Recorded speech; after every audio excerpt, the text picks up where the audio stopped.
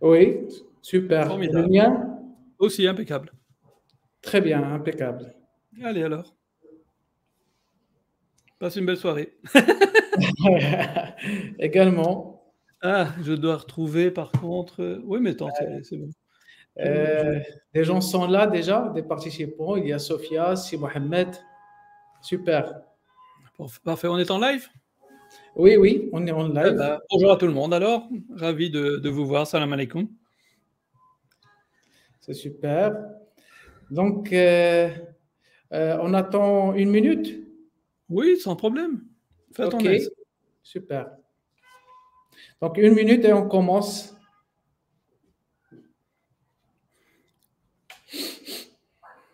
En attendant, dans les commentaires, ceux qui le souhaitent peuvent euh, nous écrire certaines de leurs attentes éventuellement pour cette rencontre.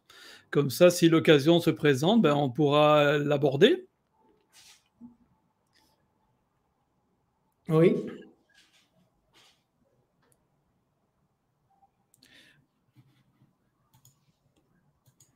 Donc, si vous avez des attentes de, de cette conférence, qu'aimeriez-vous que nous abordions? Ou des questions particulières. Sinon, rassurez-vous, hein, on a de quoi parler. Je pense qu'on a, on a comme euh, l'autre fois, j'ai vu la liste des inscrits. Il y a beaucoup Oui. de gens qui sont de Casa, Casablanca. Ah, ben, bonjour Ah les oui. Casablancais. Ben, je vais vous servir de trait d'union, puisque moi je suis à Rabat et Abdelhadi est, est à Tanger. Donc voilà. oui. Donc, si vous voulez, pendant cette minute, vous pouvez écrire euh, d'où êtes-vous, de quelle ville? Comme ça, euh, on aura une vue globale euh, des lieux, des participants.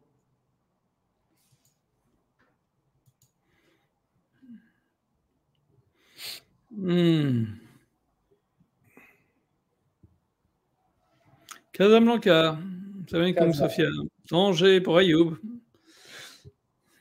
Ayoub, Bedri, Tanger. et Khalid aussi.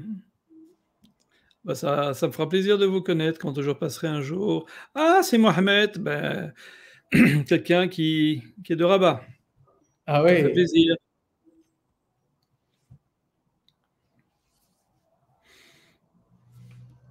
Allez, si Abdelhadi, si tu veux, je te laisse commencer. Bien sûr. Donc, euh, tout d'abord, je souhaite, je souhaite la bienvenue à tous les participants à cette conférence euh, qui est autour de l'art des ventes, l'attitude et les soft skills. En fait, je suis ravi de vous accueillir tous aujourd'hui pour cette expérience immersive où nous explorerons ensemble euh, les secrets du succès dans le domaine des ventes. Donc, tout d'abord, un immense merci à chacun d'entre vous pour votre présence, votre engagement envers votre développement professionnel. Euh, Aujourd'hui, nous avons aussi l'honneur d'accueillir Monsieur Philippe Beaujean, qui est un consultant, coach et formateur en entreprise renommée, qui partagera avec nous euh, ses connaissances et ses perspectives précieuses sur les attitudes et les soft skills nécessaires pour exceller dans le domaine de la vente. Donc, euh, la promesse de cette conférence, elle est simple, mais elle est aussi puissante. Euh, c'est de vous fournir des insights pratiques et des stratégies éprouvées qui vous aideront à atteindre de nouveaux sommets dans votre carrière commerciale. Je vous encourage tous à participer activement à cette conférence en utilisant le chat que vous, avez utilisé dès le début, en posant bien évidemment des questions et en partageant vos propres expériences. Ça va enrichir beaucoup plus cette conférence. C'est ensemble que nous allons créer une atmosphère dynamique et stimulante où l'apprentissage et le partage seront au cœur de notre parcours commun. Alors que cette conférence soit le point de départ de nouvelles réalisations et de succès extraordinaires pour chacun d'entre nous, euh, je cède la parole à Monsieur Philippe Beaujean pour vous souhaiter, pour qu'il se présente et vous souhaiter la bienvenue. Eh bien, le jour où moi j'arriverai à faire ce que Si Abdelhadi vient de faire, alors je serai peut-être à peu près aussi bon que lui. Comme quoi, vous êtes vraiment en de très bonnes mains parce que faire ce qu'il vient de faire, en plus de ça, dans une langue qui n'est pas sa langue maternelle, moi je suis dans ma langue maternelle, euh, donc chapeau l'artiste. Donc vous voyez, euh, vous êtes face à, face à un calibre et euh, lorsque vous viendrez en, formation de, vente, ben, vous aurez nécessairement quelqu'un qui sera là et qui pourra vraiment vous parler véritablement de tout ce qui est technique, vente et, tout ce, paradigme qui est là. Alors moi, je suis là un peu pour euh, être un peu comme le cheveu dans la soupe, comme on dit, ou pour euh, prendre des contre-pieds ou nous permettre d'explorer d'autres euh, d'autres facettes de la vente, aller dans d'autres réflexions qui sont parfois beaucoup plus profondes et qui vont remettre finalement notre activité de vente dans quelque chose de beaucoup plus global qui est notre vie. Euh, parce qu'en même temps, ben, c'est un métier, et puis un métier, ben, on, est censé le faire pour, pour de bonnes raisons. Alors, je ne vais pas tout dévoiler maintenant, euh, je vais expliquer ce que j'entends par là euh, tout à l'heure, euh, et j'expliquerai pourquoi j'en arrive là pour l'instant. Donc, pour l'instant, juste pour me présenter en quelques mots, pour ceux que ça intéresse vraiment, donc euh, déjà, je ne suis pas français, je suis belge. Euh, donc on peut me parler de Macron tant qu'on veut, je suis relativement insensible à la question. Euh, par contre, c'est vrai que je ne trouve pas que ce qui se passe en Europe pour l'instant hein, soit vraiment euh, très, très engageant, mais on n'est pas là pour faire de la politique. De toute façon, je ne fais pas de politique non plus. par contre, je suis issu d'une carrière internationale. Je suis arrivé au Maroc il y a 15 ans. Euh, je suis marié ici, je suis installé dans la région de Rabat, comme euh, je vous l'ai laissé supposer tout à l'heure. Euh, j'y suis bien, vous m'avez bien accueilli, je m'y sens bien. et puis, depuis 15 ans, j'ai pratiquement pas quitté le territoire. Je suis peut-être allé voir une ou deux fois les parents. Je suis parti une seule fois en Côte d'Ivoire pour aider un confrère sur une mission, mais sinon, tout le reste, je l'ai fait au Maroc. Donc, toute mon expérience professionnelle depuis 15 ans est véritablement ici au Maroc. Euh, donc c'est à partir de, de, là que je travaille. Et donc pour vous dire que quelque part, je suis bien immergé dans, dans, dans, la vie, dans la culture marocaine. Je ne suis pas du tout intégré dans la communauté internationale. Je suis marié à une Marocaine, mes voisins sont des Marocains, mes amis sont des Marocains, donc euh, voilà. Euh, autre chose aussi qui sera peut-être important pour la suite, parce que je ne m'interdirai pas d'y aller, d'ailleurs j'irai très certainement, ça fait partie un peu de mon ADN aujourd'hui. Euh, je suis musulman depuis plus de 30 ans, donc euh, lorsque je parle de spiritualité, ce qui m'arrive souvent, parce que ça fait sens pour moi, ben, je vais les chercher dans, dans, dans l'islam. Alors, je peux aller les chercher ailleurs aussi, mais alors je précise, mais je veux dire, ma référence est, islamique et non pas quelqu'un qui serait un arabisant, qui serait intéressé euh, de loin à l'islam. Non, je, je, le vis au quotidien. Donc voilà, ça, ça fait partie de, de, mon identité quelque part, mais euh, on verra ça plus tard. Voilà ce que je peux dire. Donc, j'ai travaillé euh, en consultance de quasiment toute ma carrière, à l'international que je le disais, sur des PME, sur des grandes entreprises, sur des multinationales et puis, une grosse partie de ma carrière a été centrée sur les performances opérationnelles et commerciales des entreprises. Euh, par ailleurs, ici au Maroc, euh, ben, la consultance la formation et le coaching, ben, quand j'étais à l'international, ça se faisait en un seul bloc. C'était un seul métier. Ici, en arrivant au Maroc, ben, j'étais amené à le subdiviser parce qu'il y a un marché pour le conseil, il y a un marché pour la formation, il y a un marché pour le coaching. on pourra parler de ces marchés si vous avez intéresse, mais c'est peut-être pas très relevant pour l'instant. Et euh, c'est cette expertise que, que j'apporte. Euh, et à côté de ça, il m'arrive d'enseigner. Alors, euh, je suis professeur vacataire, une fois à gauche, une fois à droite. Euh, en 2010 déjà, ou même en 2009, je ne sais plus, euh, j'enseignais déjà à l'ISCAE. Puis j'ai enseigné à Mondiapolis, j'ai enseigné à M Lyon. pour l'instant, j'enseigne parfois avec les SEC. Voilà, ce sont des choses que je fais également. Généralement sur des matières de management ou des matières liées aux soft skills, puisque ce sont des matières que je maîtrise plutôt bien. Voilà pour qui je suis. Si maintenant il y a des questions, j'y répondrai avec grand plaisir. Je te rends la parole si Abdelhadi, j'ai trop parlé. Pas beaucoup. Hein. En fait, c'est toujours un plaisir de t'entendre, de t'écouter. Merci, c'est gentil à toi. Euh, merci. Ah, je vois que tu as mis la première diapo déjà. Ah oui. je vois qu'Abdelhadi, il est pressé que je rentre dans le vif du sujet. D'accord, très bien. Donc, en fait, euh, la conférence, comme j'ai dit, comme a expliqué M. Philippe, c'est CSIN. Donc, elle est destinée pour vous. Donc, votre interactivité, elle est très sollicitée via le chat parce qu'on euh, va échanger tous ensemble. Et tout d'abord, j'aimerais commencer avec une petite histoire, une histoire concrète d'un ami euh, qui a vécu ces dernières années avec un happy ending, donc pour le, déclarer dès le début. En fait, c'est quoi l'histoire? Je vous la raconte tout de suite, sans être euh, trop long. Donc, en fait, cet ami-là, qui s'appelle euh, Mohamed. Donc Mohamed, euh, c'est un nom, euh, c'est pas son vrai nom, bien sûr, mais c'est quelqu'un qui vivait sur Tanger. Donc il travaillait avec sa petite famille, sa femme et ses deux enfants. Et ça fait dix ans qu'il vit sur Tanger et il travaille sur l'attaque dans une entreprise attaque. Donc vous connaissez tous l'attaque, je pense, j'estime, mais les gens sur, sur Casa. En fait, l'attaque, c'est une zone industrielle qui est située de 25 à 30 km de Tanger. Donc, il faisait le trajet pendant 10 ans. C'était un ingénieur. Euh, je vous laisse imaginer le trajet chaque jour avec les embouteillages, avec les, les, temps de trajet qui dépassent parfois une heure pendant l'été, quand, c'est la haute saison, parce que c'est aussi la route de Tétouan. Donc, à un certain moment, il a commencé à sentir vraiment qu'il n'est pas dans sa place, qu'il ne fait pas, qu'il ne vit pas la vie qu'il souhaite. Donc, c'était un point déclencheur pour lui. Il, avait du stress, il se sentait mal, euh, il part difficilement au travail, il se réveille difficilement parce que ça ne représente plus un sens pour lui. Et cette situation délicate a duré pendant de deux ans avant qu'il prenne un matin la décision. La décision, c'était quoi? En partant au travail, en faisant le, trajet et en partant au travail un matin, euh, de Tanger vers l'attaque, il est arrivé au rond-point, un rond-point qui est juste après Marjane, et il a fait demi-tour. Il a fait demi-tour à 8 heures du matin et il est revenu à la maison. Sa femme euh, a été surprise. Pourquoi tu es revenu? Il lui a répondu tout simplement, je veux plus aller au travail. Et vous imaginez la réaction de la femme, euh, est-ce que tu es fou, c'est de la responsabilité, comment pouvons-nous subvenir aux besoins de, la famille, etc. Il lui a dit, je n'y mettrai plus les pieds dans ce travail-là. Et qu'est-ce que tu vas faire? Sa réponse était, je vais créer ma propre entreprise. Quoi? Mais c'est de la folie. Tu vas faire quoi? Euh, comme, activité Mais tu, n'as jamais été entrepreneur, tu n'es pas fils d'entrepreneur. Tes parents sont, en fait, ton, père, il est, salarié. Comment tu vas pouvoir faire ça? Il a dit, je vais le faire quand même.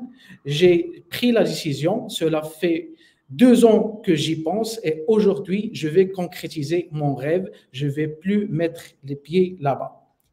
Et effectivement, avec cette force interne qu'il a et cette décision qu'il a prise, il a créé son entreprise. Maintenant, euh, il est en activité dans son entreprise, euh, je pense, six ans ou sept ans. Et cette entreprise fait un chiffre d'affaires qui dépasse les 20 millions de dirhams par an. Donc au début, c'est normal, les premiers mois, c'était difficile. Euh, mais malgré ça, il a commencé à générer la première vente, la deuxième vente, il a déclenché le bouche à oreille chez les clients et euh, avec un, effort commercial, etc., de la persévérance, il a commencé à décrocher des marchés automatiquement sans aller les chercher. Donc, ce sont les clients qui viennent le chercher et c'est grâce à ce qu'il a fait, à la décision qu'il a prise, qu'il est aujourd'hui ce qu'il est. Il est fier de lui. Euh, il aide des gens aussi. Donc, euh, tout ce qu'on peut lui souhaiter, c'est une bonne continuation. Maintenant, la question. À votre avis, qu'est-ce qui a permis à Si Mohamed à faire des réalisations, ces réalisations, à réussir de cette façon-là?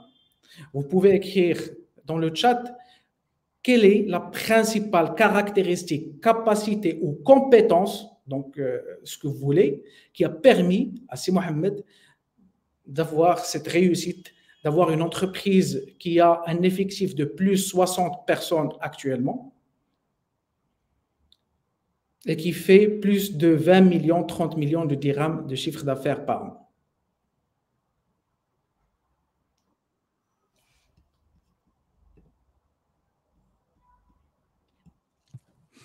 Alors, pendant que vous êtes occupé à préparer vos réponses, euh, juste si je peux me permettre de poser une question à Salima, euh, donc de Tanger Automotive City, vous écrivez les accidents fréquents. Euh, je ne comprends pas. Vous pourriez me donner un petit mot d'explication?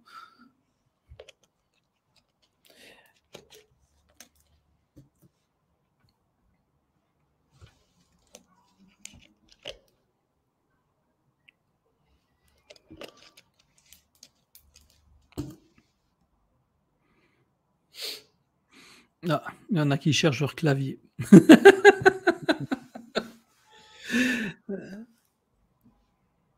ah, d'accord. Ok. Merci, Salima. La persévérance, nous dit euh, Abdel Shahid. Oui. La persévérance. Oui, on a bien compris, Salima. Merci. Elle dit que le trajet, il y a pour, pour en Ah, la pauvre, bien. J'espère que tout s'est bien passé pour vous et que tout est rentré dans l'ordre depuis. Et puis, je vous souhaite euh, que Dieu vous protège sur la route dorénavant. Alors, c'est gentil, mais il ne faut pas nécessairement copier le, la diapo qui est affichée par Abdelhadi. Hein Non, non, non, c'est bon, tu peux la laisser, il n'y a pas de souci. C'est histoire de taquiner un peu, mais persévérance est en gros juste au-dessus de ton logo.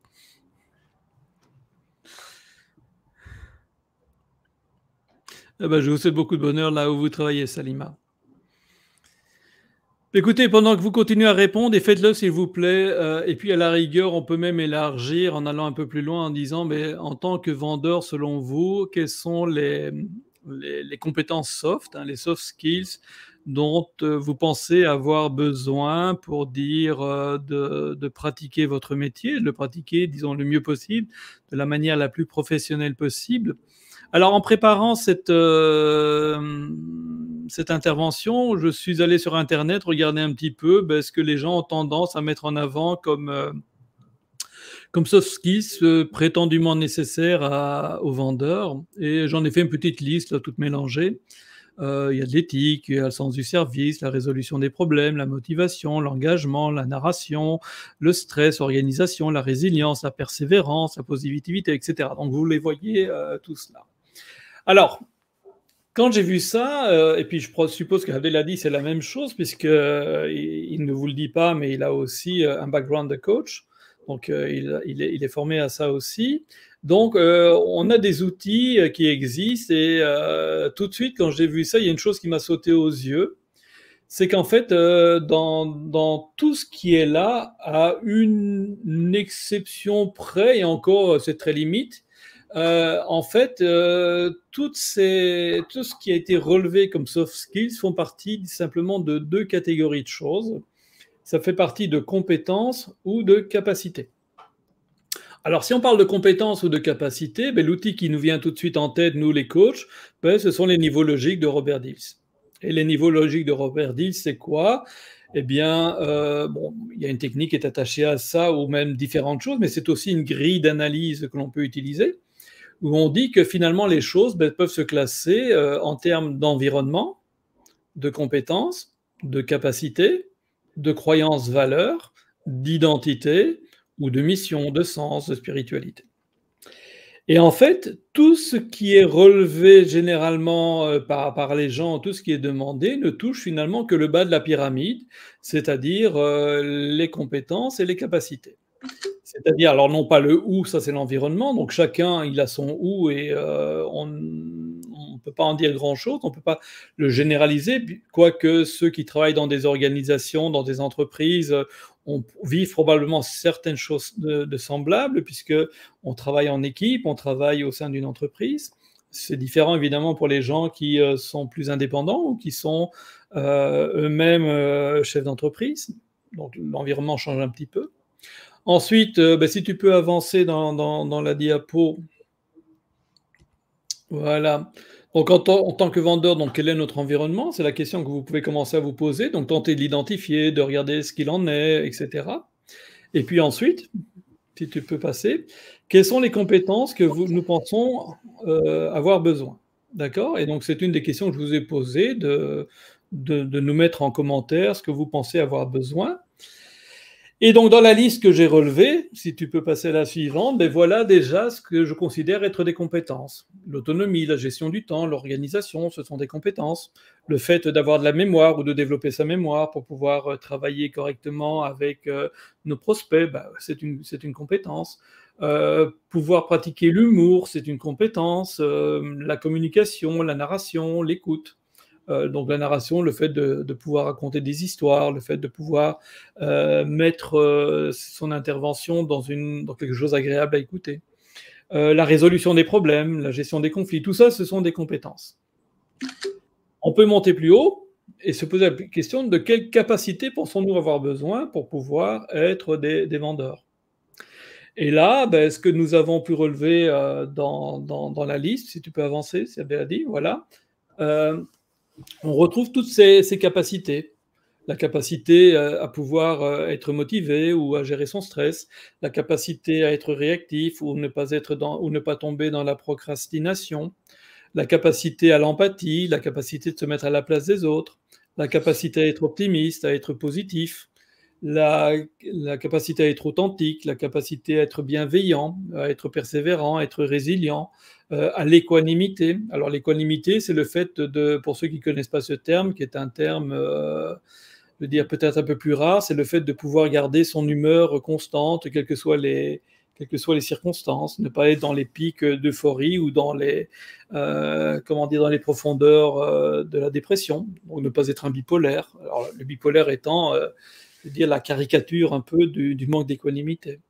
la compétence, d'avoir le sens du service, euh, d'être engagé, d'être flexible. Alors, par flexibilité, on entend souvent le fait euh, d'être capable de travailler sur des heures tardives, d'être euh, là pour le client au moment où il le faut, là où le moment, au moment où le, le, client, le prospect est disponible. Et puis aussi la capacité à être curieux. Tout ça, ce sont des capacités. Et on voit que ça remplit déjà une diapo complète. Et puis si on monte plus haut, qui est la question des croyances et des valeurs, donc quelles sont nos valeurs ou nos croyances lorsque nous pratiquons la vente, le seul terme que je me suis autorisé à mettre, et encore c'est très spécieux, c'est le mot éthique. Alors l'éthique, si tu peux avancer, hein, donc c'est l'éthique. Alors éthique, ça veut rien dire. C'est un mot fourre-tout, c'est un mot concept. Euh, en fait, ce qui serait intéressant, c'est de savoir de quelle éthique il s'agit Et ça, c'est une question que vous pouvez vous poser. Quelles sont les croyances et quelles sont les valeurs qui sont les vôtres lorsque vous travaillez? Pour certains, ce sera peut-être le fait d'être honnête, euh, euh, et encore, ils auront leur propre définition de l'honnêteté, qu'est-ce qui fait que je suis honnête ou pas honnête, etc., euh, etc. Donc, toute la question de l'éthique est une question, vous voyez, il n'y a qu'un seul mot, et dans tout ce que j'ai pu relever, et encore, ce mot est vide de sens, puisque c'est juste un mot générique qui nous donne, disons, un champ de réflexion, mais qui ne nous précise pas exactement euh, les choses. Et je vous avoue bien que ça m'a beaucoup euh, interrogé, je veux dire, quand j'ai vu ça, et c'est pour ça que j'ai monté cette, euh, cette présentation, je me suis beaucoup interrogé, là je vais me remettre dans mes souliers plus spirituels, si vous me le permettez, et je vais parler pour moi. Je vais juste faire un exemple de moi-même. Ça, chacun d'entre vous pourra faire un exemple de lui-même. Moi, j'ai un problème avec les soft skills en général. Je suis coach pourtant, hein, mais j'ai un problème avec les soft skills en général. C'est que les soft skills qu'elles nous sont vendues et présentées euh, sont issus pour moi des trois anti-religions qui ont été créées au siècle dernier, donc des trois religions, on va dire, satanistes. Et, euh, donc, elles nous égarent. Euh, en plus de ça, elles sont beaucoup issues, en mettant même ça de côté, elles sont beaucoup issues du monde protestant, du monde anglican. Hein, c'est beaucoup les Américains qui ont écrit, là-dessus. Et de la perception que j'en ai, euh, chez, les, chez, les, anglicans, une des façons en tout cas de se montrer méritant devant Dieu, c'est d'être le numéro un dans quelque chose, être le plus beau, le plus grand, le plus fort, le plus puissant, le plus riche, le plus ceci, le plus cela. Et c'est cela qu'on nous vend tout le temps à travers les soft skills, euh, comment être le plus riche, le plus puissant, etc. Or, dans notre beau pays ici au Maroc, bah, article 1er de la Constitution, l'État se choisit l'islam comme religion. Bon, c'est juste un symbole, si c'est la Constitution, j'entends. Mais euh, les, racines culturelles du Maroc, qu'on le veuille ou non, sont musulmanes. C'est de là qu'elle puise toute euh, son, son, assise, toute sa base de de, valeurs, d'expression de ces valeurs, etc. Donc c'est le référentiel, qu'on soit croyant ou pas croyant. Je veux dire, nos interactions au quotidien sont inspirées et ont été construites socialement en partant de cette base qui est présente depuis très longtemps dans le royaume. Et euh, ce qui caractérise euh, l'islam, c'est pas d'être le numéro un, si ce n'est en foi et en croyance en Dieu et en bonne action, mais c'est d'être euh, dans la gentillesse, dans la bienveillance, dans l'entraide, c'est aider son plus proche voisin, jusqu'au septième ou au quarantième selon les hadiths. c'est d'être dans la générosité, dans le partage, dans le soutien. Enfin, c'est plutôt ces notions-là. Et donc, on se rend bien compte que ça va assez à l'inverse de ce qui nous est proposé par les soft skills. Et c'est vrai que quand on regarde finalement les médias dont nous nous abreuvons, ben finalement, beaucoup de ceux-ci sont allés chercher leur référentiel et donc nous vendent quelque part ben, la réussite à l'américaine, j'ai envie de dire, en étant le numéro un, le meilleur, le plus grand, le plus fort, le plus beau, comme si les choses dépendaient de nous. Or, si, je suis croyant, et à nouveau je ne parle que de moi, bah, je veux dire, ma croyance me pousse à dire et à professer que tout vient de Dieu, que j'ai mon destin, que je n'aurai ni une chose en plus ni une chose en moins que ce que mon destin, euh, qu'est-ce qui a été prévu dans mon destin, que vous pourriez tous vous rassembler pour me donner quelque chose ou me prendre quelque chose, on n'y parviendrait pas. Et donc, euh, bah, en toute logique, je devrais pouvoir vivre ma vie en étant aligné sur cette croyance que je professe, et donc avoir des comportements et des attitudes qui soient en ligne avec ça j'ai reçu mon risque, j'ai reçu mon destin, et c'est ce que Dieu me donnera exactement, euh, que je le veuille ou non, et Dieu n'a pas besoin nécessairement de mon travail pour le faire, même s'il est recommandé de travailler. Ce qui veut dire aussi que, ben, parallèlement, quand je regarde la littérature euh, qui a été écrite sur la vente, hein, que j'ai beaucoup lu en son temps quand euh, j'ai commencé à donner des cours de vente il y a très très longtemps, en tout début de carrière hein, à, Bruxelles, avec une, euh, société de formation, euh, on avait créé une, vente, c'est ce que je vous enseignerai en tout cas, qui était une vente qui était destinée à IBM. et c'est une vente qui avait été faite en contre-pied de ce qui se faisait chez Rank Xerox. C'est ce qu'on avait appelé la vente conseil en opposition à cette vente très agressive qu'avait Rank Xerox. Et donc déjà à cette époque-là, j'avais déjà commencé à lire beaucoup de choses euh, sur la vente, alors comme n'importe qui, j'étais un jeune, euh, vous savez, on a le droit d'être un jeune con, hein comme je dis toujours, je l'ai été, j'en ai profité. Euh, mais bon, heureusement, je me suis assagi avec le temps. Mais je veux dire, il y avait toujours cette idée de, de, courir, de gagner beaucoup d'argent. Et c'est normal, on est dans la phase où on construit sa vie.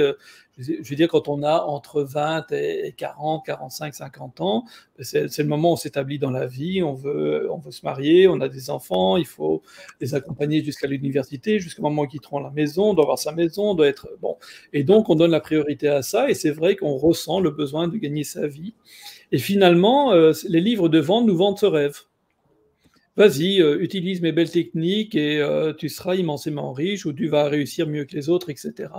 Alors pourquoi pas, je suis pas occupé à dire qu'il ne faut pas avoir des techniques et je reviendrai sur le point tout à l'heure parce que c'est important. Au contraire, euh, allons chercher des techniques, etc. Mais simplement utilisons-les et je veux dire, alignons-les sur quelque chose de plus grand et c'est à ça que je vais arriver tout doucement. Donc, ces livres de vente nous vendent un rêve, euh, et à ce rêve, on est très accroché, et je peux le comprendre. Mais en même temps, euh, ça va créer une maladie, une maladie de l'âme qu'on appelle l'avidité. Et euh, avec l'avidité, il est très difficile, sauf à la, clémence de Dieu, de, rentrer, je veux dire, au paradis, parce qu'on a une maladie de l'âme. et cette maladie, ben, on, l'aura forgée par nous-mêmes. Donc, il doit être en capacité d'aller gagner sa vie, bien sûr, et gagner son argent est une heureuse conséquence de son travail, mais ça, ne peut pas, dans mon esprit, être euh, l'objectif de mon travail. Et j'expliquerai pourquoi, puisque de toute façon, on n'aura jamais que ce qui est, prévu euh, par Dieu. Donc, ici, on en est sur les croyances-valeurs. Si je remonte un peu plus haut, là, tu peux tourner la diapo si tu veux bien, ben, on en arrive à ce qu'on appelle l'identité. Euh, qui sommes-nous lorsque nous pratiquons la vente? Et ça, c'est une question. Donc, qui suis-je quand je suis, quand je pratique la vente? Est-ce que je suis un vendeur? Est-ce que je suis quelqu'un qui vient en aide à quelqu'un, qui vient le soutenir, qui apporte, qui apporte une contribution? La manière dont vous vous définissez est très important. Et en fait, la dernière question que l'on se pose euh, avant de commencer à se réaligner, ben, c'est, euh, si tu veux bien passer à la dernière diapo. Euh, voilà en quoi ma pratique de la vente fait sens. D'accord? Donc, euh, la question je pense qu'il va nous permettre de nous réaligner et de résoudre beaucoup de problèmes que nous avons et pour lesquels nous pensons que ce sont les soft skills qui vont pouvoir nous aider, euh, ben, vont pouvoir trouver euh, leur solution dans la réponse à cette question. En quoi la pratique de, la vente fait sens pour moi? Euh, Quelle est la, part contributive que j'apporte à la vie, au monde, à la société, au mieux-être mieux, commun, euh, à mon développement personnel, à ma relation à Dieu, au fait de réussir ma vie, etc. Parce qu'on ne peut pas d'un côté professer qu'il n'y a que Dieu que Dieu et que celui qui fait tout, puis d'un autre côté euh, partir avec l'idée que c'est moi qui fais tout, que c'est grâce à mon travail, à mon argent, et que c'est en, manipulant les techniques que je vais avoir de meilleurs résultats, puisque de toute façon le résultat aurait été voulu par Dieu. Donc, lorsque je pratique ma vente, la chose qui est importante, c'est de la faire correctement dans le chemin de Dieu, en respectant les préceptes et les recommandations de Dieu. Or, Dieu a pas mal légiféré dans le Coran concernant la vente hein, et, le contrat. Euh, donc, c'est de le faire avec toute l'honnêteté nécessaire. Ensuite, de déployer les efforts qu'il faut, etc. Alors, après ça, il y a d'autres soft skills qu'on a besoin pour pouvoir faire ça correctement. La persévérance, le courage, le fait de dépasser ses peurs, le fait de devoir avancer, etc. Et là aussi, quelque part, ben, ma relation euh, spirituelle peut aider finalement à gommer toute une série de problèmes que je peux avoir par ailleurs lorsque je ne suis pas connecté finalement à cette, à, cette racine, à cette, euh, à cette graine qui est là, qui est le point de départ de tout, et le point d'arrivée aussi de tout. Euh, si bien que ben, je suis obligé d'aller finalement, ou je tente d'aller chercher des solutions ben, là où elles ne sont pas, euh, dans, dans, les livres euh, ou dans les pratiques de soft skills auprès des coachs, etc., qui vont, avec leur coup de perlimpinpin ou leur hypnose ou ceci ou ça, tenter de résoudre des choses en dehors, disons, de toute, de toute rectitude. Donc, première question à se poser, euh, ben, euh, quelle est ma part contributive? Comme je dis toujours, on ne doit jamais travailler pour de l'argent, et je comprends que ça peut paraître choquant, mais on peut gagner de l'argent de son travail. C'est ça la nuance. Et donc, je ne fais pas mon travail pour l'argent. L'argent n'est jamais que la juste euh, ou l'heureuse conséquence de mon travail, on va dire.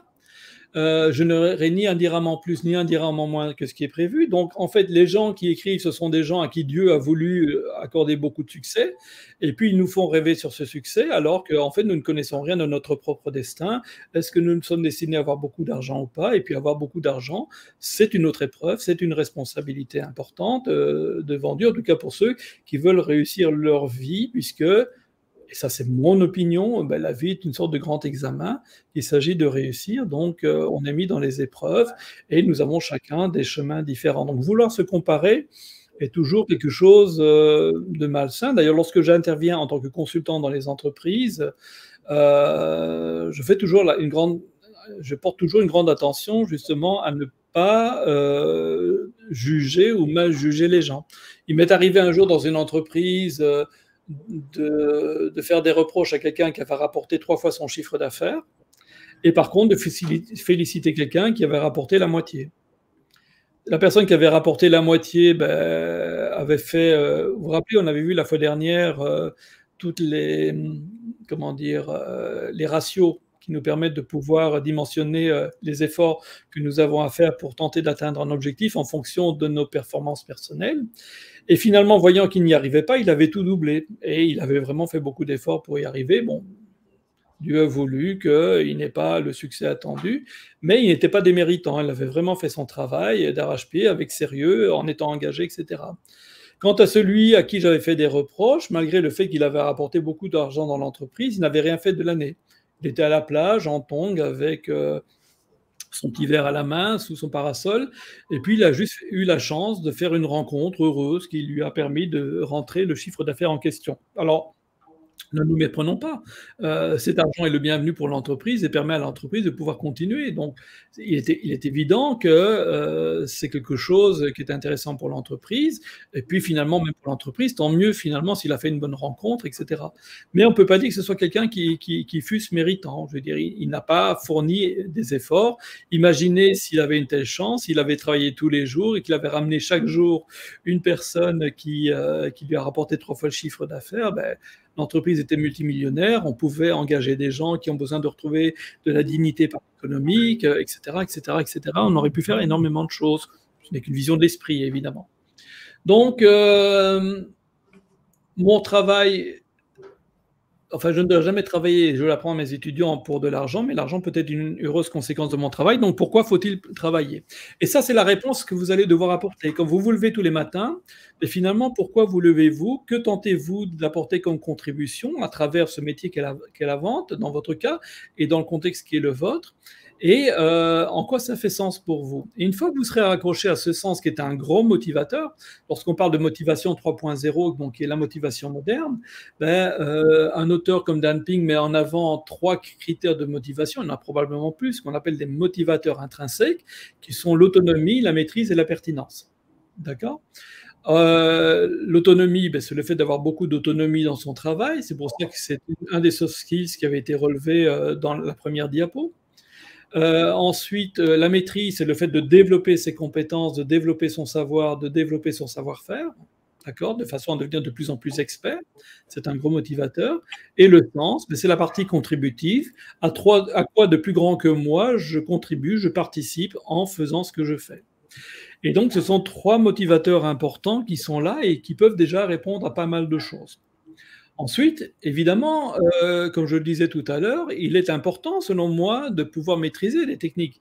Je n'imagine pas, euh, un, mettons, un menuisier euh, ne pas avoir de technique. Au contraire, je veux dire, le fait qu'il ait d'excellentes techniques lui permettra de pouvoir faire de très beaux meubles.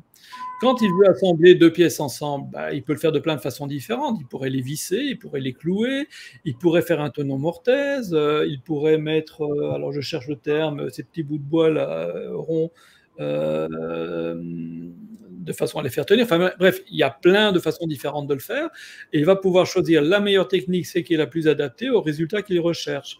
Et donc, je veux dire, quelqu'un qui maîtrise son art est quelqu'un d'excessivement intéressant. Un vendeur qui maîtrise son art est quelque chose d'excessivement intéressant parce que un acheteur, ben, ça lui fait plaisir d'être entre les mains d'un vendeur qui maîtrise vraiment son métier, qui est capable de pouvoir euh, écouter, qui est capable de pouvoir comprendre le besoin de, son, de son client et le vrai besoin, et de comprendre même ce qu'il n'a pas nécessairement dit, et d'arriver à verrouiller ce besoin.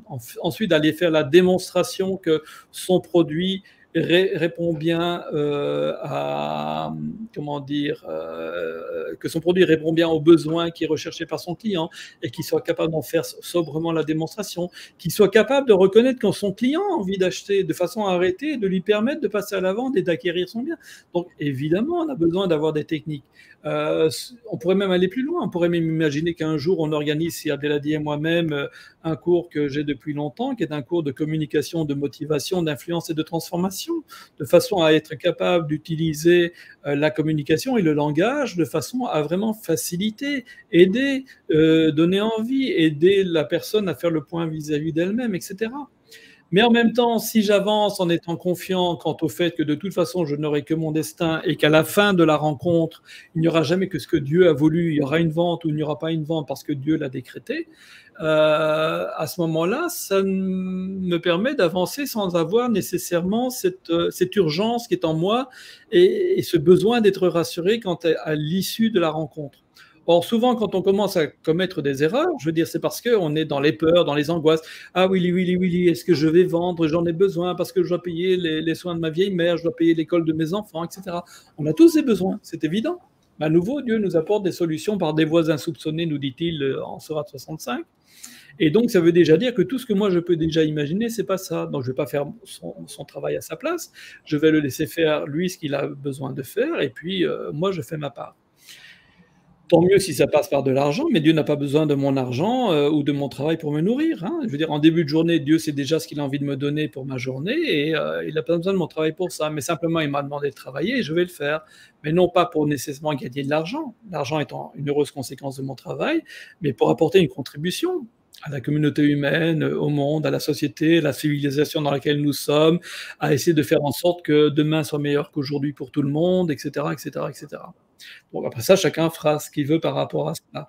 Euh, mais donc, déjà, ça nous supprime cette urgence-là.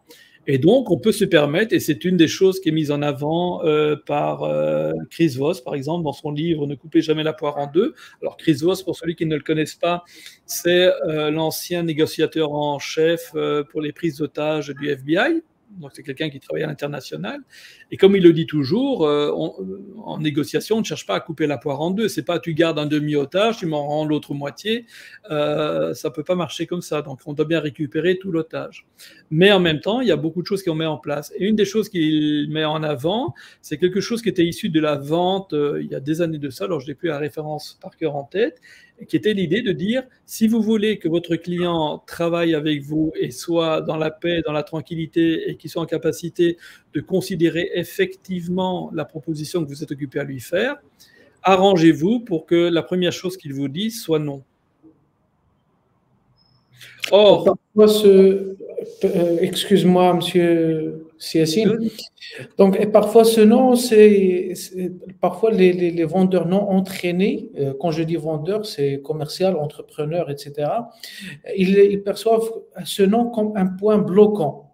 Euh, donc, comme si, bien évidemment, on dit que après le nom que commence la vente, le travail du vendeur. Mais ce nom, c'est tout un point de départ et il montre l'intérêt du prospect parce que vous proposez. Parce que généralement, ce nom, c'est un moyen de se protéger parce que il sait qu'il y a quelque chose qui peut être intéressant pour lui. Et là, il, commence à dire non pour se protéger, pour prendre du temps, pour prendre du recul avant de prendre une décision rapide. Donc, il prononce le nom. Et là, le vendeur doit bien comprendre cela pour euh, élaborer et mettre en place une stratégie, en fait, une communication dans l'éthique pour changer ce nom en oui. Oui, d'ailleurs, le oui arrivera très naturellement et ce sera probablement un oui très sincère parce que, comme tu le dis, la personne s'est protégée et en se protégeant, ça lui donne une vraie liberté d'esprit de pouvoir prendre du recul et considérer ce qu'on est occupé à lui proposer. Et si de fait ça correspond à ses besoins, qu'on arrive à faire la démonstration que ça correspond à ses besoins, eh bien, il ira naturellement au oui et nous le demandera. Euh, par contre, à l'inverse, il y a des techniques qui existent et qu'on a enseignées très longtemps, qu'on appelait les yes set, où euh, l'idée c'est de faire dire oui le plus rapidement possible au client et de le mettre dans toute une série de oui en disant ben, vous appelez bien Sia Beladi, ben oui, vous êtes bien de Tanger, ben oui, vous êtes bien ceci, vous buvez de l'eau, ben oui, donc vous m'achèterez bien une barre de chocolat, ben oui. C'était un peu l'idée. Malheureusement, on connaît tous ça. Hein. on a beaucoup ça en télémarketing, par exemple, et euh, on sait qu'on a beaucoup de mal à sortir de cela. Alors certains aujourd'hui euh, ignore toute politesse parce que c'est la seule façon de se défendre et ils raccrochent au nez de ces gens-là puisque ces gens-là ne veulent pas entendre quand on leur dit que ça ne nous intéresse pas. Mais c'est une technique. Or, cette technique est très agressive. On la connaît tous à peu près parce qu'on nous l'a tous déjà fait. Et donc, quand on est là-dedans, ben, on, on, on ne considère pas du tout la proposition qui nous est faite. Et au contraire, on, freine des quatre fers pour essayer d'éviter de tomber dans le piège. Donc, on n'a pas d'énergie à mettre dans le fait de considérer la proposition, on cherche juste à se mettre en sécurité. Donc le fait de faire dire non à un client ou de l'amener à nous dire non dès le départ, ben, ça le met dans un sentiment de contrôler l'entretien, de pouvoir se protéger et de prendre la distance nécessaire pour, euh, pour pouvoir considérer, comme le disait très très bien Siad a dit, la proposition qui nous est faite. Alors juste, pourquoi je parle de ça? Juste pour montrer que parfois il y a des choses qui sont contre-intuitives. Et que le fait, oui, tu peux remettre la première diapo, euh, elle nous servira bien. Euh, que donc certaines choses sont, très contre-intuitives. Et euh, d'ailleurs, on peut repasser sans la diapo, on a terminé avec ça si tu si Adèle a dit. Euh, et, que parfois, ben, pouvoir prendre des contre-pieds ou, réfléchir aux choses sont des choses importantes. Parce qu'il y a beaucoup de choses qui ont été écrites donc dans, la littérature de la vente. Alors certaines choses sont totalement justes, et on peut, de fait, euh, elles, peuvent trouver leur raison d'être euh, dans notre environnement plus marocain, plus, plus nord-africain, dans notre culture, notre civilisation.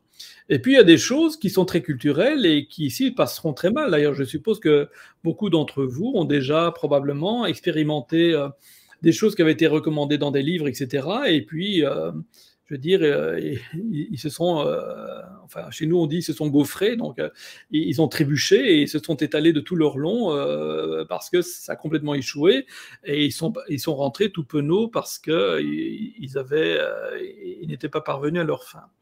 Donc, la, première chose déjà à ne pas vouloir avoir, c'est la télécommande en main. C'est une illusion. On n'a jamais la télécommande. Je ne serai jamais dans la tête de Abdelhadi, par exemple, pour euh, euh, toucher les boutons, euh, faire en sorte qu'il agisse d'une façon ou d'une autre. Non, ça ne peut pas fonctionner comme ça. Tout ce que je puisse faire éventuellement, c'est créer un contexte dans lequel si Abdelhadi choisira, lui, de se comporter d'une certaine façon ou d'une autre. Donc, en fonction des variables d'environnement, il va prendre des décisions de comportement, d'attitude, etc.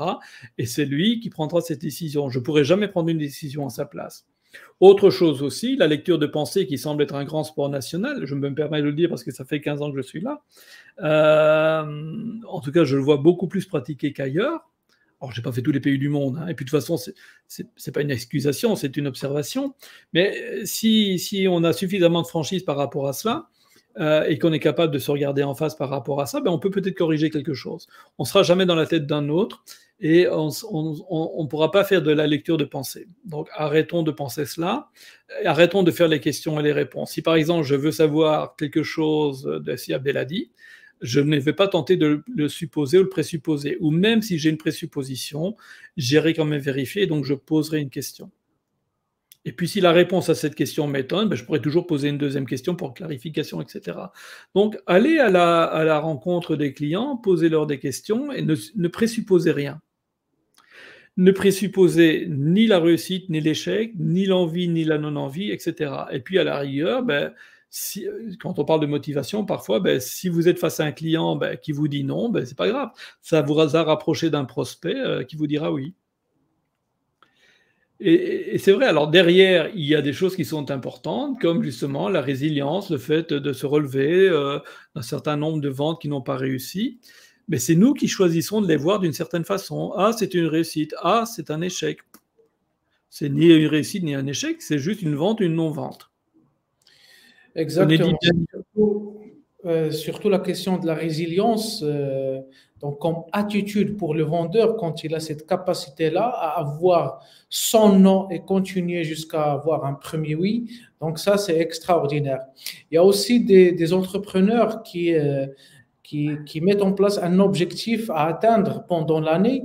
Et euh, quand, quand, quand, les premiers mois de l'année passent sans réaliser même pas 5% ou 10%, alors qu'il a déjà consommé 6 mois de l'année et il n'a réalisé rien du tout, donc il peut baisser les bras. Mais par contre, il y en a ceux qui, qui résistent, qui, malgré les coûts qu'ils ont eus, parce que parfois, quand on est entrepreneur, quand, quand on est commercial, on veut euh, décrocher des affaires, des marchés, et là, euh, on peut investir beaucoup de temps, beaucoup d'énergie et parfois beaucoup d'argent pour décrocher les marchés. Et ça finit par euh, euh, par, un non, on n'obtient pas ce qu'on cherchait. Donc là, si la personne en question, le vendeur, baisse les bras ou baisse l'énergie qu'il avait au début, il ne pourra pas avoir de nouveaux marchés, il ne pourra pas continuer. Sachant que même dans l'année, euh, il a consommé, comme j'ai dit, six mois de l'année, du temps, il n'a pas, il n'a rien obtenu et au final, il peut avoir ou il peut décrocher un, bon marché jusqu'au 12e mois de l'année. Donc, c'est en tenant, en persévérant et en ayant ce, ce, pouvoir de résilience et cette force-là. C'est ici qu'on, euh, c'est là qu'on peut voir vraiment l'attitude d'un vrai vendeur. C'est quelqu'un qui ne baisse pas les bras. Il peut, on peut pas l'appeler comme un échec, mais euh, si par exemple une équipe comme on voit, voit maintenant dans la Coupe d'Afrique, elle peut perdre le match, mais elle ne perd pas la compétition complètement. Donc, il faut continuer, il faut garder cet état d'esprit-là, il ne faut pas baisser son énergie, il faut rester focus et concentré. Donc, c'est en gros, c'est l'attitude du vrai vendeur qui peut, qui peut persévérer, qui peut avoir de bons résultats. Ben, justement, reprenons ce, tout dernier exemple. En fait, il y, a deux choses sur lesquelles je peux rebondir. Une première, juste à titre d'illustration, il y a des, métiers, des spécialités euh, qui sont excessivement saisonnières par exemple les jouets, on sait qu'il y a une période qui est fin novembre, euh, tout le mois de décembre, en tout cas en Occident, avec les fêtes de fin d'année, et euh, l'écrasante majorité de leur chiffre d'affaires se fait sur ce mois, ce mois et demi. Et donc, ils vont vivre toute l'année dans, ils pourraient vivre toute l'année dans l'inquiétude de réaliser leur chiffre d'affaires dans les six dernières semaines de, l'année. Donc, ce sont des choses à apprendre à gérer aussi. Mais reprenons euh, justement à titre d'illustration l'équipe de football. L'équipe de football, quel est, finalement son objectif? Sur le terrain, selon les règles du jeu, évidemment, c'est de marquer le plus de buts possible pour gagner le match. Ça, c'est juste au niveau du jeu lui-même.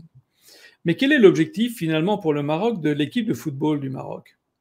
Ben, L'équipe de football du Maroc, c'est un peu la carte de visite, c'est le représentant, c'est l'image du Maroc.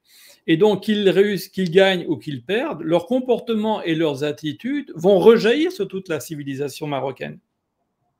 S'ils se comportent avec fair play, avec gentillesse, avec respect, avec, euh, avec dignité, euh, avec compassion, avec gentillesse, ben c'est toutes ces qualités-là qui sont attribuées euh, à, la, civilisation marocaine. S'ils se comportent comme des voyous, comme des vandales, comme, euh, comme des gangsters, comme des gens issus, euh, disons, d'une sous-culture agressive, que sais-je, etc., malheureusement, ben, c'est le Maroc qui va en souffrir en termes d'image. Et donc derrière, ben, les entrepreneurs vont en souffrir, les politiciens dans les relations internationales vont en souffrir, nous allons tous en souffrir. Donc en fait, euh, les joueurs de l'équipe de football, quelque part, ben, devraient ou ont peut-être, hein, moi je ne les connais pas personnellement, avoir cette, euh, cette conscience qu'en fait, ils représentent une nation ou une civilisation dans votre cas, parce que le Maroc c'est une civilisation, c'est pas une nation. Mais peu importe, c'est un, un, point de détail de vocabulaire. Euh, et qui représente les Marocains et Marocaines et que ce qu'on pensera des Marocains et des Marocaines à l'étranger, euh, à l'international, à travers euh, la télévision, ça va surtout le, pardon, ça peut être vu par n'importe qui sur le globe. Eh bien, euh, on se fera une idée du, peuple marocain en fonction du comportement et des attitudes de ces joueurs. Donc, la finalité de ces joueurs, c'est pas nécessairement de gagner ou de perdre. Ça, c'est juste les règles du jeu. Il y aura un classement. je ne sais pas combien d'équipes il y a, quoi, 16, 18, 20, je sais pas. Euh, mettons qu'il y ait 20 équipes. Ils ont une chance sur 20 d'être le premier. Alors, s'ils sont talentueux, ils ont peut-être un petit peu plus de chance, mais euh, voilà, il y, a, toujours une part de chance là-dedans. Mais par contre, une chose qui est, qui est certaine, c'est qu'ils ont entre les mains, quelque part, l'image de marque euh, d'une nation je dirais que les supporters qui les accompagnent également, évidemment, hein, ça participe de tout ça. Et c'est ça, quelque part, retomber dans le sens dont on parlait tout à l'heure. Dire, OK, je suis footballeur, mais pourquoi? Qu'est-ce que je sers? Qu'est-ce que de plus grand que moi À quoi de plus grand que moi je contribue? Ben, Je contribue au rayonnement d'une civilisation. Et je le fais en jouant au football. Mais jouer au football n'est jamais qu'un moyen de rayonner ou de faire rayonner, je veux dire, euh, la civilisation marocaine pour le, pour, le bien de tous les Marocains. Parce que si derrière, il y a des contrats, qu'il y a du travail, ben on va pouvoir rendre de la dignité par l'économique à des gens qui en ont grandement besoin. On va pouvoir peut-être un peu mieux aider les gens qui ont tout perdu dans le cadre du tremblement de terre parce qu'on aura des moyens, etc., etc., etc. D'accord? Donc, c'est ça, travailler en conscience. Euh, ceux qui travaillent en, structure ont peut-être un peu plus la conscience qu'ils représentent aussi une entreprise et que leur comportement et leur attitude en tant que vendeur, qu'ils vendent ou qu'ils ne vendent pas, euh, c'est la carte de visite de l'entreprise. Et donc, l'entreprise, même si la personne n'a pas fait affaire avec vous, pourra peut-être vous recommander quelqu'un d'autre parce qu'il aura jugé que vous êtes une personne bien, une personne de confiance, et que votre société est une personne de confiance. Lui n'en avait peut-être pas besoin, mais il va en parler à quelqu'un qui, lui, en a besoin. Donc, on ne sait jamais. Donc, je pense que c'est aussi important. Alors, en termes de sens, c'est bien, mais c'est pas suffisant, j'entends bien. Mais c'est vrai que c'est un point de départ euh, à partir duquel on peut commencer à réfléchir. Donc, ce sont des choses qui, sont essentielles.